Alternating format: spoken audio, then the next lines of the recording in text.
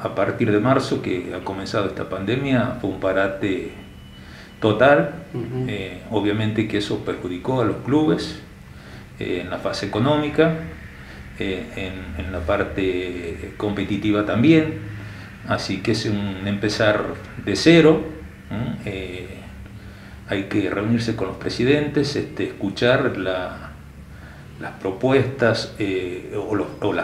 las, problemáticas que tiene cada club como para irlas adecuando a los momentos que vivimos y, entre todos este, ver cómo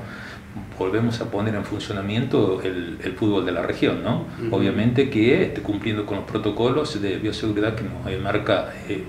en este caso el COEN, y, bueno, y cuidándonos entre todos, porque no, te olvidemos que estamos en plena pandemia. Eh, ¿Qué sabes de defensores de la comarca?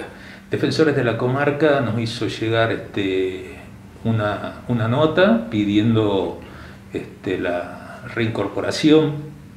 con categorías para poder participar en los torneos oficiales que organiza la liga. Nos hizo llegar este, su personería jurídica, su estatuto, digamos, con los papeles en regla, como quien dice, pero esto no depende pura y exclusivamente del Consejo Directivo, sino depende de eh, los presidentes de los clubes, que esto se va a tratar una vez que se realice la asamblea anual ordinaria, que nosotros este, estamos con mandato vencido, eh, justamente porque este, no se ha podido realizar la, asamblea. Este, y eso eh, hay una resolución desde la dirección del EGJ, eh, donde nos este, estira el, mandato hasta eh, fines de marzo. O sea que nosotros estábamos digamos, con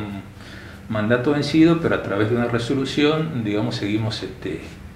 eh, bajo la órbita de la liga, trabajando en la liga, hasta poder realizar la, asamblea ordinaria y bueno, en ese momento se pondrá a consideración si los presidentes de los clubes este, aceptan, digamos, este, la, participación de, ese nuevo club.